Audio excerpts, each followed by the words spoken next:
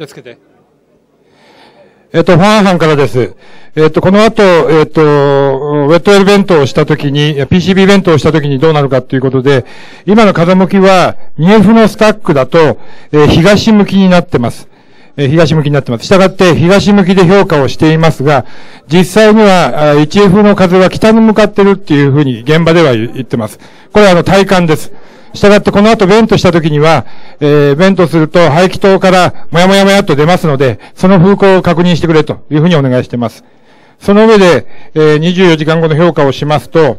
えーこれ、えーっと、ね、えーっと、炉心があ2%損傷しているというベースで評価をしていますが、えーこのようになりまして、この赤いところ、この太い赤いところが、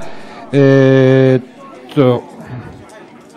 今、今なんだって、今海風なの？今、海風です。あ海風、2F で海風です。1F は北に向かってるという話が、でよくわからないんです。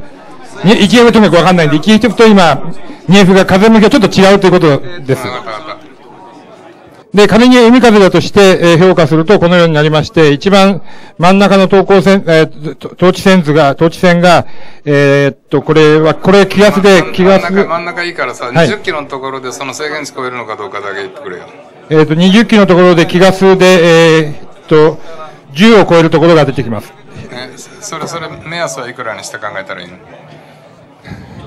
えっ、と、お屋内た、屋内退避が20か、あ10から50ですので、で、えっ、と、退避が50以上です。うんじゃあ、その、退避してるから、その、その範囲内って。えーただし、気ガスの方がそうでして、要素の方がもう少し線量多くなります。いや要素はそのさっきみたいに格納容器の上の方がぶっ壊れたり格納容器の上の方に穴開けたら出てくるけど、はいウェットウェルからベントしてる限りにおいては要素なんか出てこないんだから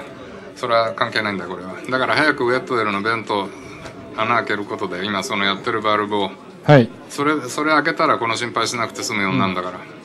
了解です。